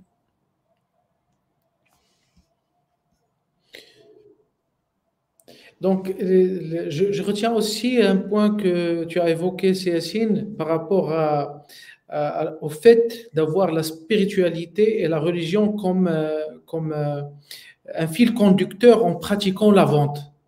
Ça, c'est ma façon à moi de faire. Je ne peux pas l'imposer aux gens. Chacun est libre par rapport à ça. Je ne suis pas, euh, comment dire, euh, je veux dire, je, ne viens pas contrôler, je veux dire, euh, les croyances des uns et des autres et leurs pratiques spirituelles. Donc moi, je l'ai mis en, image par rapport à moi-même. Je suis comme ça, ceux qui me connaissent savent que je suis comme ça. Mais après ça, chacun a trouvé finalement sa voie. Mais de toute façon, qu'elle soit, qu'elle soit prise dans l'islam ou qu'elle soit prise, on va dire, de manière plus philosophique, peu importe, chacun posera ses choix en fonction de ses croyances et de ce qu'il veut. Mais on a besoin d'avoir quelque chose qui est de cet ordre-là. Euh, qui est, et, on va aller le pécher, le, péché, finalement dans le sens qu'on donne à la vie. Finalement, on, nous vivons, nous mourrons, entre les deux, ben, il se passe plein de choses. Quel est le sens de la vie? En Europe, il y a plein de gens qui sont athées, qui disent ben, Dieu n'existe pas, après la vie c'est la mort, il n'y a plus rien, etc. Et quelque part, ils construisent leur vie autour de cette compréhension qu'ils ont euh, de, de l'existence. Et donc, ben, puisqu'il n'y a plus rien derrière, il n'y a aucune conséquence, et donc je peux faire ce que je veux. Et c'est là où on voit qu'aujourd'hui, euh, parce que moi je regarde quand même euh, l'Occident d'où je viens, euh, avec un œil d'ailleurs très, très critique et euh, très acerbe, et je peux me permettre de le faire, je suis issu de chez eux, et puis je les ai connus de l'intérieur, eh bien, je vois que finalement, ces logiques qui sont les leurs, ben, les a amenés à, la tyrannie qui est occupée à, se mettre en place pour l'instant, aux tensions dans les sociétés, au risque de guerre civile euh, qui risque d'éclater euh, parce qu'on est occupé à mettre du bois sur le feu et que, euh, je veux dire, à moins d'un miracle, et c'est Dieu qui décidera, ou bien que certaines communautés se ressaisissent et évitent de tomber dans le piège, ben, on va avoir, on va vivre de très mauvais moments en Europe. Donc, euh, nos choix ont des conséquences. Donc, nous pouvons poser tous les choix que nous voulons. Mais nous ne pouvons pas échapper à la conséquence de nos choix. nos choix ont des conséquences. Nous pouvons poser tous les choix que nous voulons. Nous ne pouvons pas échapper à la conséquence de nos choix. Et ça, c'est vrai individuellement et collectivement. Donc, le, fait, si, je comprends bien, le fait d'avoir de bonnes ventes est une conséquence d'une multitude de choix. Alors, le fait d'avoir des bonnes ventes, c'est deux choses. Avant tout, et de manière euh, indiscutable dans mon référentiel personnel, puisque je suis parti de celui-là, c'est l'expression du destin. J'aurai nécessairement, je réaliserai les ventes qui sont prévues que je réalise avec les gens pour qui c'est prévu. Et dans le fait qu'il y ait une vente ou pas une vente, il y a un morceau d'examen pour chacune des personnes concernées, chacun dans son domaine moi, peut-être parce que j'ai peut-être d'avoir besoin d'un peu moins. Bah, juste avant de, monter en, live ici, je t'ai demandé de m'accorder 2-3 minutes parce que je terminais une conversation avec euh, une étudiante que j'ai eue en coaching dernièrement. Ce sont des, doctorants. Et puis, elle, vient de vivre quelque chose de terrible pour elle. Elle n'a pas eu son augmentation et elle trouve qu'elle était bien et sa collègue qui vient d'arriver, elle, qu'elle trouve moins bien, a eu son augmentation, enfin, etc. Et donc, elle le vivait très mal, elle était en colère. Et beaucoup de colère était là. Et c'est une personne qui est excessivement croyante. En tout cas, elle, est jeune, donc elle est en cheminement, bien sûr, mais elle croit en Dieu, etc. Et donc, tout ce que je suis occupé à vous dire, ben, je lui disais également. Je lui rappelais un certain nombre de choses. Je dis, tu vois, euh, Dieu nous dit que c'est lui qui pourvoit à tout. Pourquoi voulons-nous lui faire concurrence? Si nous professons ça, si nous croyons à cela, alors nous devons vivre en cohérence par rapport à ça. Ce qui ne veut pas dire que je ne dois rien faire mais je dois avoir confiance quant au fait que Dieu me donnera tout ce qu'il m'a destiné de la manière qui lui convient. Ça arrivera par les ventes, par l'argent que je gagne ou par d'autres choses.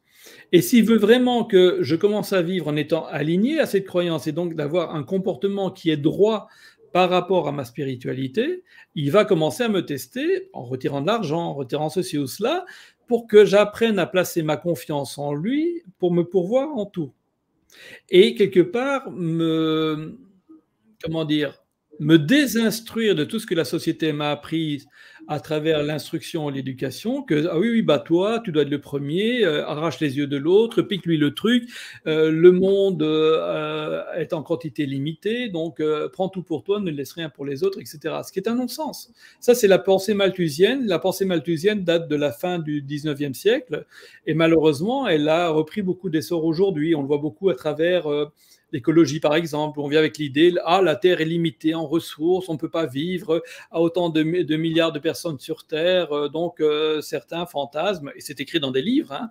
regardez ce qu'écrivent les gens du World Economic Forum, ben, qu'on doit se débarrasser de 6 milliards de personnes. Parce que soi-disant, on ne peut pas vivre à 8 milliards sur la Terre comme ça. Alors qu'en fait, certains calculs ont été faits qui montrent que même à 20 milliards, on vivrait encore tous très très bien. Hein. Mais c'est la pensée malthusienne. Et donc, si nous n'avons plus ça en tête, on peut, on peut, on peut pas le décoder. Oui. Euh, on voit, on voit aujourd'hui, Yassine, que dans des équipes de vente, il y a des managers, quand ils donnent un objectif commercial à réaliser, euh, comme si, euh, si l'objectif est réalisable selon seulement le travail du vendeur. Donc l'aspect euh, spiritualité, l'aspect que si Dieu le veut n'est pas n'est quasiment pas existant dans le monde d'aujourd'hui, dans le, les départements commerciaux. Alors, il y a, il y a deux choses à dire par rapport à ça. commercial, même les achats, parce que ma, ma femme travaille dans les achats. Donc, ils veulent réaliser un certain objectif, euh, indépendamment s'il y a d'autres paramètres, euh, si Dieu ne le veut pas, je veux que tu réalises cet objectif. C'est indiscutable. C'est comme ça qu'on le voit parce que je suis aussi euh, issu de, grandes entreprises, de, départements commerciaux. J'ai 12 ans d'expérience. Donc, c'est avec cet état d'esprit-là, cette culture, qu'on faisait les choses. Donc, je donne l'objectif. On les fait encore d'ailleurs, hein on les fait encore. Oui, pour moi aussi, quand ça, ça vient de, mes supérieurs, quand je cascade cet objectif, je veux que cet objectif soit réalisé et tu es le responsable. Point barre. On peut. C'est-à-dire qu'en fait, euh, on ne dit pas euh, si tout ira bien. Ça, ça, ça n'existe pas. Donc, donc comment, euh, comment tu, tu, tu, tu évalues, comment tu vois ça? Écoute, je, dois dire deux choses qui, peuvent paraître antinomiques. Je vais voir les choses euh, très rapidement parce que je me suis déjà beaucoup étendu dessus du point de vue de la spiritualité quand tu en parles, et puis je regardais les choses du côté de l'entreprise. L'entreprise n'a pas tout à fait tort, mais il faut comprendre aussi ce qu'il y a derrière, et ça c'est toute la force, parce qu'en fait j'observe qu'il y a énormément de managers aujourd'hui, et ça c'est mon grand étonnement de ces dernières années, euh, une écrasante majorité des managers que je fréquente ne comprennent même plus au service de quoi ils sont. Et ça, c'est très grave. Et donc, on est beaucoup dans les soft skills et on ne comprend plus au service de quoi ces soft skills sont. Donc, je vais revenir là-dessus tout de suite. au niveau de la spiritualité, tu as raison, euh, on n'est plus à dire cela. Mais pourquoi? Parce que dans nos sociétés, alors là, je devrais remonter très loin, je devrais remonter à ce qu'est une synarchie euh, de, Platon euh, aux quatre castes et les maladies des quatre castes, mais bon, on, va tenter de faire très rapidement.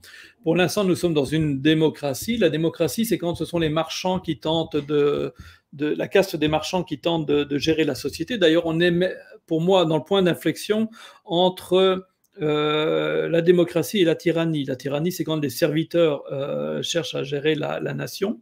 Et on est vraiment dans ce point de basculement-là pour l'instant. On nous dit que ce sont des démocraties, mais quand on regarde la France, c'est devenu une tyrannie dans ses modes de fonctionnement, j'entends. Euh, et donc, le propre de la démocratie, ben, elle est dominée par ce qu'on appelle la pensée marchande. Ce sont des réflexions que j'ai eues beaucoup avec le président d'une toute grande université ici à Rabat, euh, d'ailleurs, on a écrit un livre, enfin j'ai écrit un livre euh, pour lui par rapport à toutes les réflexions qu'on avait. Et une des choses qui ressortait, par exemple, c'est que alors que l'enseignement devrait être géré par ce qu'on appelle la caste des, euh, du clergé, c'est-à-dire ceux qui s'occupent du spirituel, de la santé et de l'éducation, et ils pratiquaient gratuitement. eh bien, maintenant que c'est dominé par le monde marchand, ben, tout est réfléchi en termes de retour sur investissement de financement, de, comment dire, euh, d'investissement et, de retour sur investissement. Or, euh, l'enseignement, par exemple, ben, c'est l'avenir d'une nation. Un jour, toi et moi, on sera trop vieux et ce seront nos enfants qui euh, auront les, rênes de la, de, la civilisation entre les mains. On a tout intérêt à ce que ça se passe bien. Donc, en fait, euh, idéalement, on devrait avoir devant nos enfants ben, les, les, personnes les plus, les plus extraordinaires de la nation. Probablement des gens un peu tout doucement comme moi qui commencent à avoir beaucoup d'âge, qui ont beaucoup vécu, et donc qui peuvent commencer à parler de beaucoup de choses au-delà des savoirs purement formels et purement scientifiques.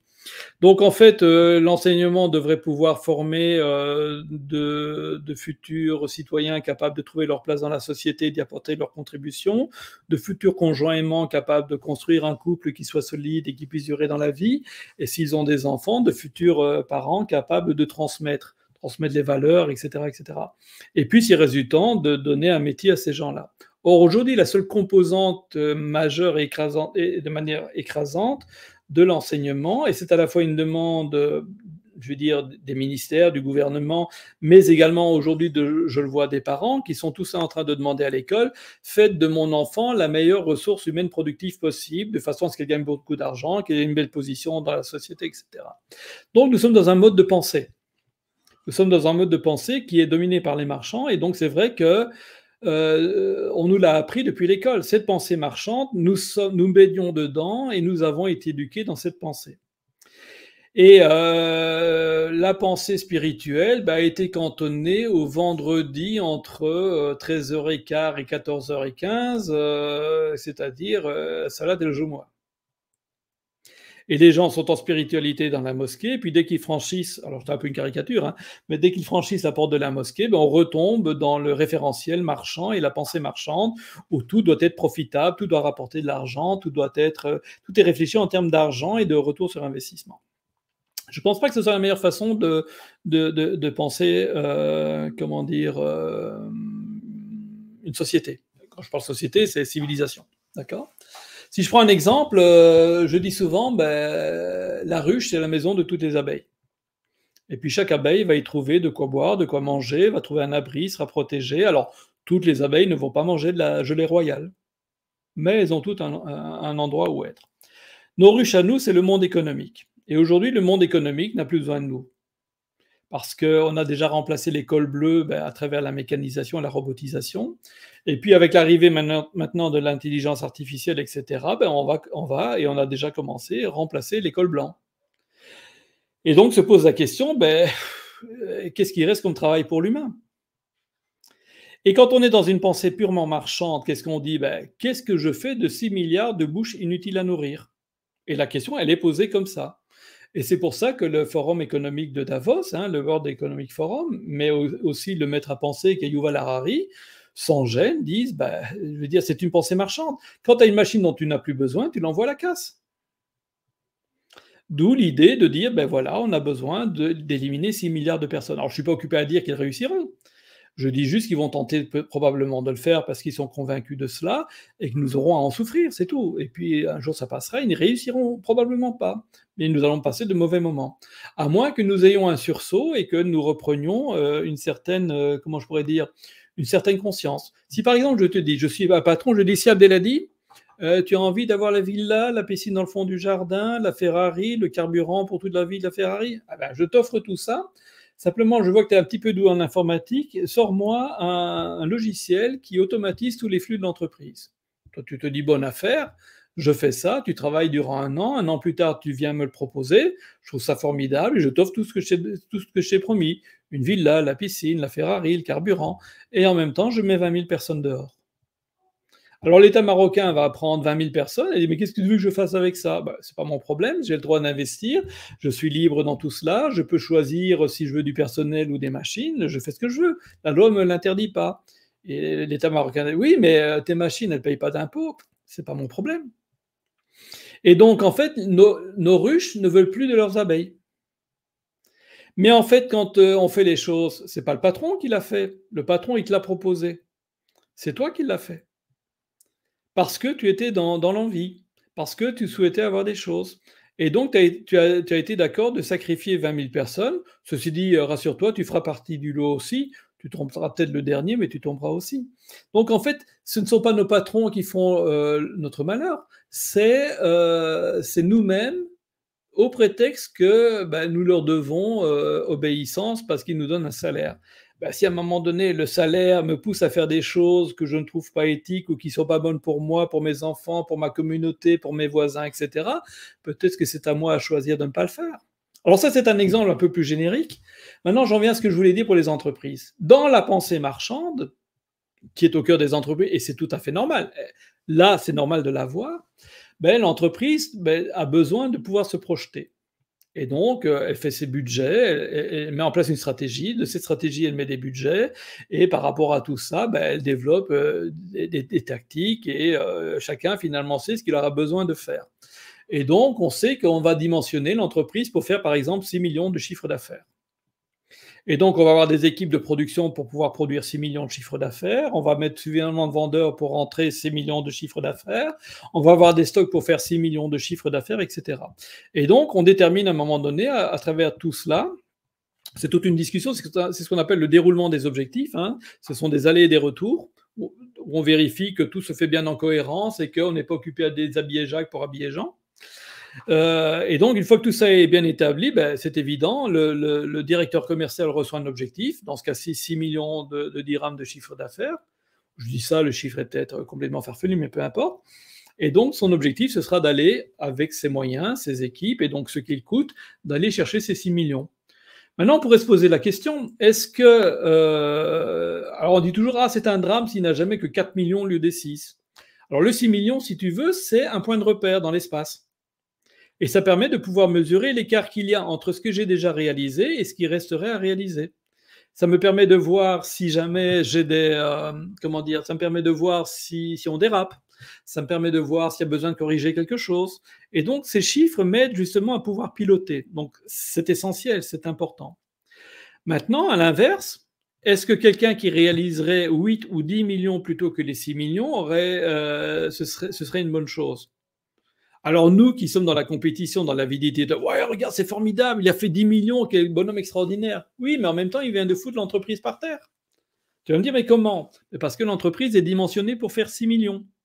Si tu lui apportes 10 millions à faire, elle n'a pas les moyens de le faire. Elle ne peut pas changer euh, son setup de 6 millions à 10 millions en une nuit. Et donc, euh, ben, elle va se retrouver avec des commandes qu'elle ne pourra pas honorer, des problèmes juridiques, euh, des clients qui seront mécontents, qui vont le dire à tout le monde. Ça va apparaître dans la presse, vous allez perdre vos clients et vous fermerez au bout du compte. Donc, ce qu'il faut comprendre, c'est qu'une entreprise, c'est un équilibre. Il y a des tensions dans l'entreprise qui sont voulues et qui permettent à cet équilibre d'être tenu. Imaginez un disque et puis une pointe qui tiendrait sur une pointe. D'accord? Eh bien, pour que ce disque reste sur la pointe, ben, il faut que les tensions s'annulent les unes aux autres. Et c'est pour ça qu'on crée des tensions dans l'entreprise. Si toutes les tensions partaient dans un sens, ben, le disque tomberait. Et c'est ce qui arrive dans un certain nombre d'entreprises où on a des patrons qui sont souvent caractérisés par leur origine. Par exemple, il y a des patrons qui sont plutôt des ingénieurs, où il y a des patrons qui sont des anciens commerciaux, où il y a des patrons qui sont des anciens financiers. Et ils ont une tendance à vouloir gérer l'entreprise en fonction de finalement soit de la finance, soit de l'ingénierie, soit le commercial, plutôt que de la gérer en équilibre. Et donc, ça déséquilibre complètement l'entreprise qui, au bout d'un certain temps, s'effondre si on ne corrige pas euh, la situation. Donc, ces chiffres sont nécessaires. Qu'on cherche à les avoir et rester dans le scénario, c'est nécessaire.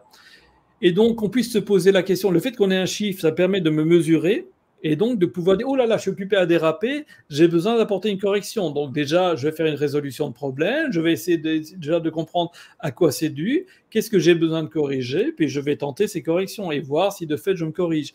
Parce que j'ai besoin pour que l'entreprise reste viable et continue à donner son salaire à tout le monde, et donc à permettre à chacun de garder de la dignité par l'économique, de respecter ces équilibres. Une entreprise qui rentrerait pas son chiffre d'affaires, qu'est-ce qu'elle fait? Ben, Elle va retirer du personnel elle va revendre des équipements, elle va vider son stock pour tenter de, rétablir son équilibre. Alors, 10 minutes de, taille, ça peut encore se faire. Grossir, bah, il faut un temps de processus pour le faire, et ça ne se fait pas en une nuit. Donc, si on a un marché, on peut dire, ben voilà, dans 2 ans, 3 ans, 4 ans, je viserai le 10 millions, mais il me faut peut-être un an, 2 ans, 3 ans, 4 ans pour, construire les moyens qui me permettent de répondre à 10 millions. Exactement. mais pour grossir et atteindre des, des, des, grandes ambitions comme ça, il faut avoir une équipe, une force de vente qui est capable de mener cette, ce développement et qui est bien formée euh, tout au long du, du, cursus. C'est très, très important. en fait, euh, euh, j'observe, moi, dans ma pratique, je ne sais pas si c'est une personne que toi, tu as tendance à faire, hein, nous avons des expériences différentes, que les entreprises qui travaillent avec énormément d'éthique, depuis le sommet jusqu'à la base, et, qui essayent d'avoir des comportements qui sont plutôt sains euh, et, une réflexion plutôt saine par rapport euh, à l'engagement, par rapport au travail, par rapport à tout ça, ben finalement, sont des entreprises qui s'en sortent infiniment mieux. Alors, ce n'est pas toujours des résultats très extraordinaires, mais par contre, ce sont des entreprises qui durent dans le temps et puis qui vont grandir gentiment. Et le fait de prendre le temps, et ça c'est peut-être important aussi en termes de vendeurs, le fait de prendre le temps de, de monter en flèche, en fait, toute courbe de démarrage est une courbe en exponentielle. D'accord? Ça veut dire qu'il y a d'abord un grand plat, puis il y a une inflexion, puis ça monte. Alors évidemment, si on utilise les effets de levier, on peut monter plus vite. Le problème, c'est qu'en fait, le plat qui est là, il sert à une chose, il me sert à faire des apprentissages, à devenir un vrai professionnel. Et si je veux aller plus vite que ça, mais ça veut dire que je me mets en danger dans des moments où je suis occupé à monter très fort. Et là, je peux me casser la gueule, parce qu'au plus je suis haut, au plus je vais tomber de haut, et donc là, c'est mortel pour moi. Par contre, si j'ai la sagesse de grandir gentiment, de prendre le plat, de prendre toutes les expériences que j'ai besoin de prendre pour devenir un vrai professionnel, à un moment donné, ben, quand la courbe s'infléchit, alors là, je suis en pleine possession de mon que pour pouvoir assurer le décollage, je veux dire, euh, quasiment vertical à ce moment-là. Maintenant, je comprends que c'est plus en début de vie qu'on a besoin d'avoir des moyens qu'en fin de vie, parce que c'est en début de vie qu'on veut se marier, qu'on va avoir sa maison, sa voiture, etc. Malheureusement, on ne peut pas refaire la vie et euh, on commence pas en étant vieux pour terminer jeune. Donc, euh, ben, les apprentissages, ils se font. et avoir l'humilité par rapport à ces apprentissages, c'est une chose importante. Pouvoir écouter les expériences des autres et puis voir ce qu'on en pense, la ramener par rapport à nos propres expériences, voir comment on pourrait les, les adapter, voir ce que ça nous inspire, voir éventuellement là on a des choses que l'on pourrait commencer à améliorer, comment on pourrait les améliorer. Donc déjà, première chose, prendre conscience que, tiens, tel point, donc c'est une chose qu'on fait en séminaire en général. on sensibilise les gens. Ah, mais regarde, là, il y a peut-être quelque chose à travailler. Ah, pourquoi Ah oui, ah, j'en prends conscience. Premier point, en prendre conscience. Ensuite, ben, comment je peux faire? Et là, c'est la, montée en ressources. De, quoi tu aurais besoin pour le faire? Et puis, euh, ben, on, apprend des techniques, on apprend, euh, on, s'entraîne, etc., etc., ce qui permet de monter. D'ailleurs, une des suggestions que j'ai faites à Abdeladi, et puis on verra si on le fera ou pas, une chose qui pourrait être intéressante de faire au-delà du séminaire qu'on va vous proposer, hein, où on va avoir de la technique, on va avoir toutes ces questions-là, c'est aussi peut-être de se faire euh, régulièrement, mais il faut remplir des groupes, hein, à raison, mettons, euh, d'une journée, de temps en temps, un samedi par exemple, de faire des rencontres qui sont uniquement de l'entraînement. On n'est pas là pour faire des cours, on fait là que pour faire de l'entraînement. Par exemple, on va s'entraîner à identifier, rechercher les besoins ou on va euh, s'entraîner durant une journée à ne faire que de la conclusion où on va s'entraîner durant une journée à ne faire que de l'argumentation ou de la réponse à des objections. Un peu comme un drill, parce qu'au plus on va automatiser cela, au plus on va pouvoir oublier complètement notre technique, nos produits, notre entreprise pour être à 100% dans l'écoute de son client. Super, super intéressant. Notre produit, on le connaît, hein on n'a pas besoin de se le rappeler. On a besoin d'être à 100% avec le client. Une fois qu'on aura terminé, ben, notre produit, on le connaît. Notre entreprise, on la connaît. Et notre technique, si nous l'avons bien intégrée, on n'a plus besoin d'y penser. Et c'est comme la conduite automobile. Quand on conduit aujourd'hui, on conduit avec l'inconscient. Si vous voulez conduire avec le conscient, ben vous allez faire un accident. En fait, vous êtes capable de conduire aujourd'hui sans y penser, tout en ayant une conversation, en écoutant quelque chose à la radio ou en rêvassant. Exact. Super. Merci, merci beaucoup, Siassine. Euh, Donc, euh, avant de terminer, euh, je propose aux participants, s'ils ont une question, peut-être, de la mettre sur le chat.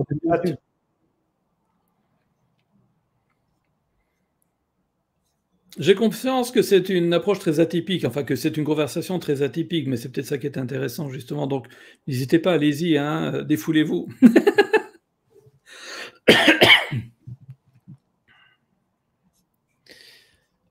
Alors, s'il n'y a pas de questions, ça veut dire que tout était clair pour ne pas, ne pas, ne pas être euh, trop long. Donc, je propose euh, que nous clôturions cette, cette magnifique conférence.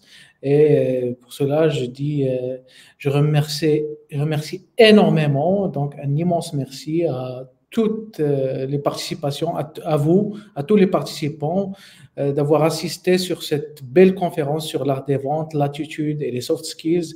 Et un merci spécial à notre euh, invité euh, de calibre, Monsieur Philippe Beaujean, qui est coach, consultant et formateur en entreprise. Alors, votre engagement qui est de rester. il, y a, une question de Salima, si tu permets, hein, on va, puisque leur a proposé. Merci. Est-ce que la vente est un don que tout le monde n'a pas? Euh, j'ai envie de dire plusieurs choses là-dessus.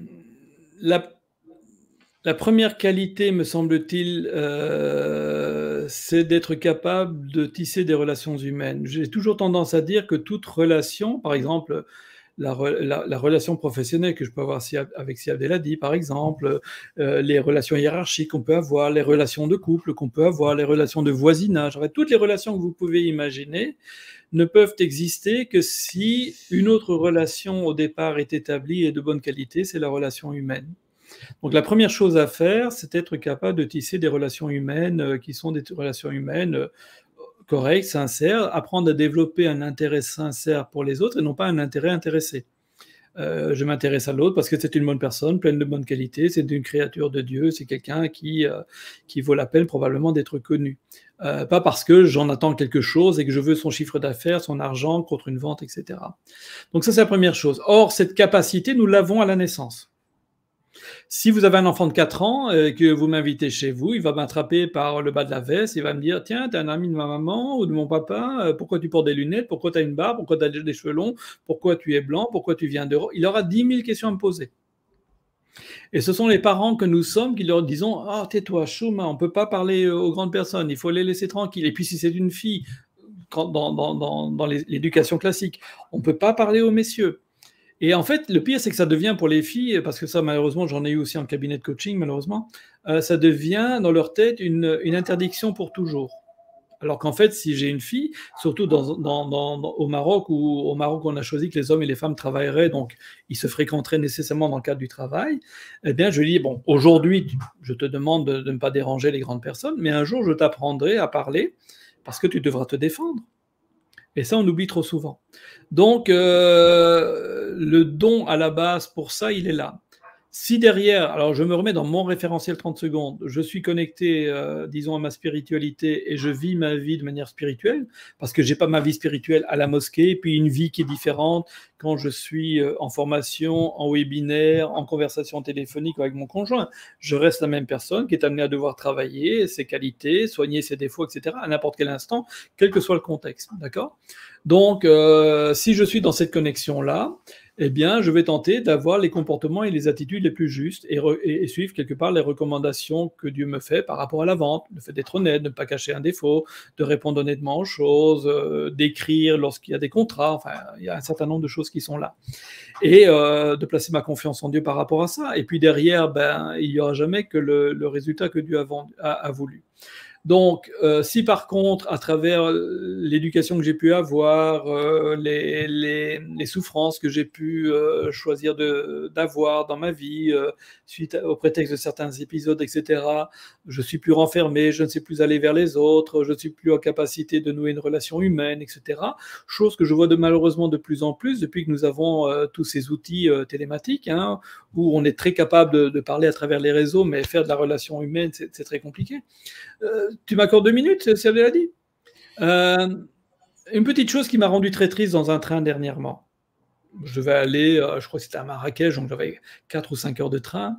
Et puis dans, dans, le, dans le compartiment, euh, il y avait une, petite dame, une petite vieille, comme on dirait aujourd'hui, donc d'un certain âge, quelqu'un qui est, qui est plus âgé que moi. Et puis, on était, tous les jeunes étaient là avec leur smartphone, en train de les écouteurs, de, de, chatter sur les trucs, etc.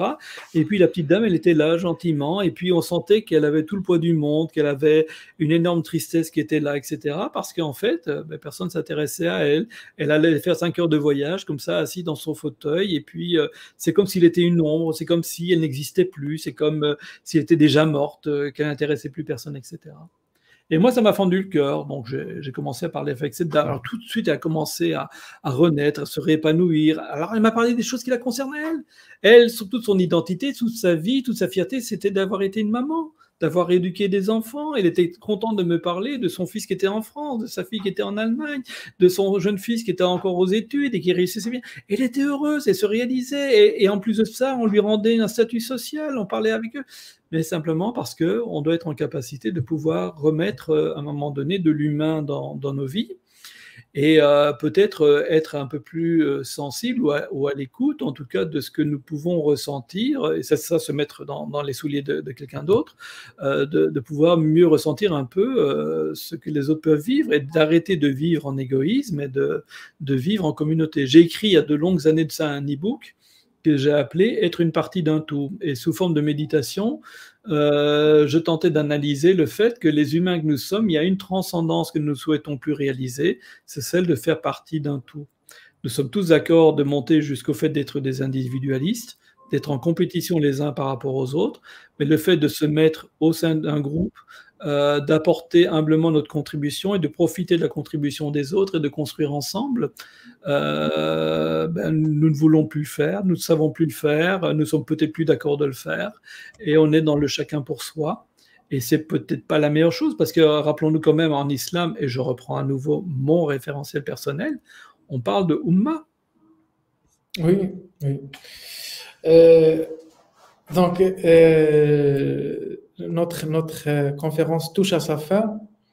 je te remercie énormément, Siassine, pour la profondeur de ta pensée et la qualité de, de, ce que tu nous as enseigné, en fait, de ce qu'on a appris de, de cet échange. merci encore à tous et à bientôt pour une nouvelle aventure. Euh, si tu veux euh, dire ben, je, je, vous souhaite à tous tout le bonheur du monde. Dites à ceux que vous aimez que vous les aimez. Et puis j'espère vous revoir très vite pour euh, d'autres entretiens ensemble. Ça fera toujours plaisir. Inch'Allah. Ils auront aussi une nouvelle que je, qu'on partagera avec eux par email. alors, une chose que je suis d'accord de faire, alors vous passez par Si Abdelhadi probablement, ou alors il vous communiquera euh, mon, mon, WhatsApp ou quelque chose comme ça. Si vous avez des questions, des questions plus personnelles, n'hésitez pas à me les poser. Hein. Je tenterai d'y répondre. Alors, simplement, faites référence à tiens, je vous ai écouté dans ce séminaire-là ou dans ce webinaire-là, j'aurai telle question. Et puis moi, je m'engage à vous répondre dans les 24 heures parce que si je suis en webinaire, si je suis en, conférence ou si je suis euh, en formation, etc., je ne peux pas vous répondre dans l'instant, d'accord? Mais n'hésitez pas à le faire. Et ça, c'est un cadeau que je vous fais. Euh, si vous avez des questions, ben, je tenterai d'y répondre euh, avec beaucoup de plaisir. Merci, merci beaucoup. Merci Petit Sam, merci tout le monde, Salima, merci tous les participants et à bientôt. À très bientôt.